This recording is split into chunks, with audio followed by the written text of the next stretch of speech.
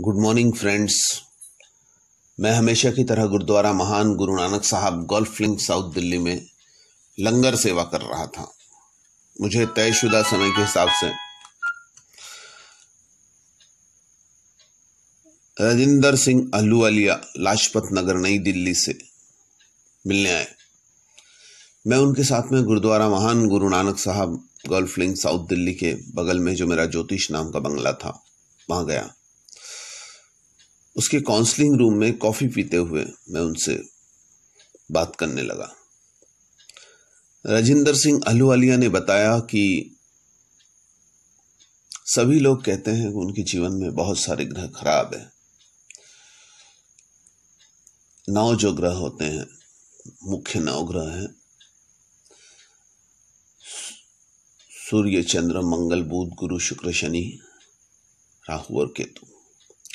इसके अलावा तीन और ग्रह हैं, यूरेनस, नेपच्यून, प्लूटो। इन नौ ग्रहों में से ग्रह खराब है और बहुत सारी चीज़ें इनके साथ में हो रही है। मैंने इन्हें बताया कि उनके बहुत सारे ग्रह खराब हैं, पर कुछ ग्रह बहुत अच्छे हैं। जैसे इंदिरा गांधी जी की कुंडली में था, हमारे देश की प्रधानमंत्री जी। तो उसी तरह वो जो अच्छे ग्रह हैं, जो अच्छी चीज़ें हैं, उसके बारे में वो सोचे। जो खराब है, उसके बारे में ना सोचे। बेशक बहुत सारी परेशानियाँ होगी, तकलीफें होगी अलग अलग फ्रंट पे उनको परेशानी आती होगी, घरेलू जीवन। पर एक जो शुक्र अच्छा है, वो उनको लग्जरियस लाइफ दे रहा है, इन सब परेशानियों के बीच में। गुरु अच्छा है, जो धार्मिक वातावरण दे रहा है। शनि की खराबी की वजह से नौकर साथ नहीं दे रहे हैं। घरेलू जीवन में शनि रहने की वजह से घरेलू जीवन में तनाव है, ये सब चीज़ें हैं। अपने अच्छे पहलुओं पर हमें बहुत ज़्यादा ध्यान देने की ज़रूरत है। तार्किकता के नज़रिए से विश्लेषण करने पर यह मूल्यांकन आपको विश्वास दिला देगा कि आप उतने पराजित नहीं जितने आप सोचते हैं। जीवन के आघात, मुश्किलों के पहाड़ और समस्याओं के बोझ से आप थकान और हताशा का अनुभव करते हैं। इस स्थिति में आपकी वास्तविक शक्ति अक्सर छुप जाती है और आप हताश के सामने घुटने टेक देते हैं। ऐसी स्थिति में ज़रूरी है अपने व्यक्तित्व के सकारात्मक गुणों का विश्लेषण करें। तार्किकता के नज़रिए से ऐसा करने पर यह मूल्यांकन आपको विश्वास दिला देगा कि आप उतने पराजित नहीं हैं जितना कि सोचते हैं। फिर भी यदि आप ऐसी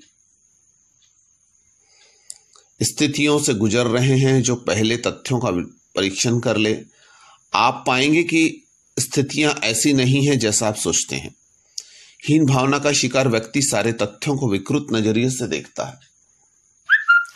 अगर ऐसा लगता है कि आप पराजित हो चुके हैं, आपको अपनी जीतने की क्षमता पर भरोसा नहीं है तो आपका व्यवहारिक समाधान है। आप इत्मीनान से बैठ जाएँ, अपने हाथ में कागज़ लें और एक सूची बनाएँ। याद रखें, आप ऐसे बातों की सूची ना बनाएँ जो आपके खिलाफ है, बल्कि ऐसे बातों की सूची बनाएँ जो आपके पक्ष में है। अगर आप, मैं या कोई और लगातार, यानी आपकी विरोधी शक्तियों के बारे में ही सोचते रहेंगे तो ज़्यादा शक्तिशाली बन जाएँगे। वे इतने अधिक शक्तिशाली बन जाएगी जितनी शक्ति आपके दरअसल है ही नहीं। परंतु इसके विपरीत यदि आप मानसिक रूप से अच्छे पहलुओं पर ध्यान दें, अपनी विशेषताओं की सूची बनाएँ, अपने विचारों को उन पर केंद्रित करें, उन पर पूरा ज़ोर दें तो किसी भी मुश्किल से पार कर जाएँगे। इससे आपकी आंतरिक शक्तियाँ उभर जाएगी और आप खुद को पराजित के तलदल से विजय के शिखर तक पहुँच जाएँगे। एक बात विशेष ध्यान देनी ज़रूरी है। जो हमारे अच्छे ग्रह हैं, उसके बारे में सोचे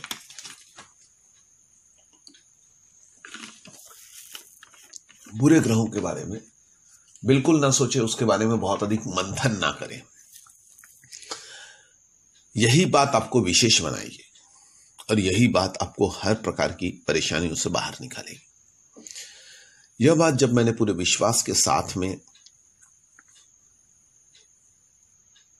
राजेंद्र सिंह अलूवालिया जी को बताई।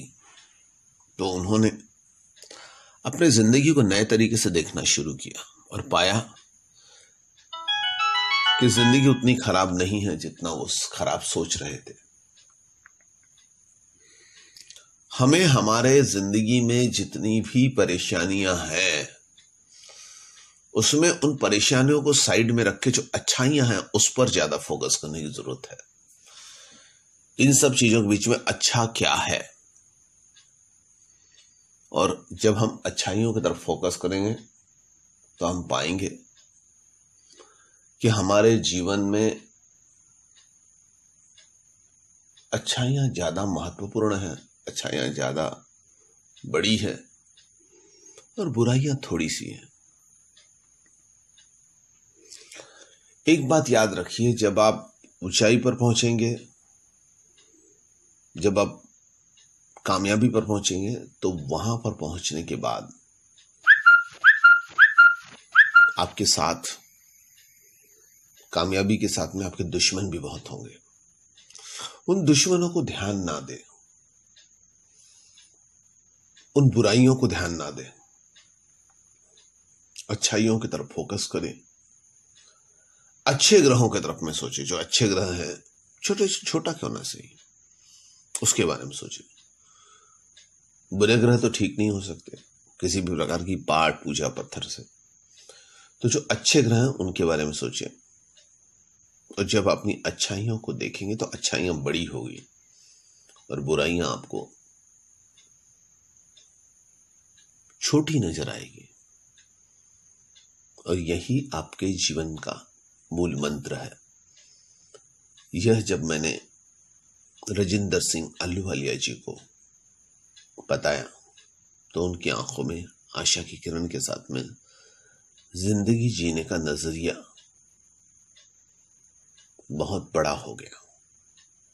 और वो उस विश्वास के साथ में अपने घर लाजपत नगर, नई दिल्ली की ओर लौटे।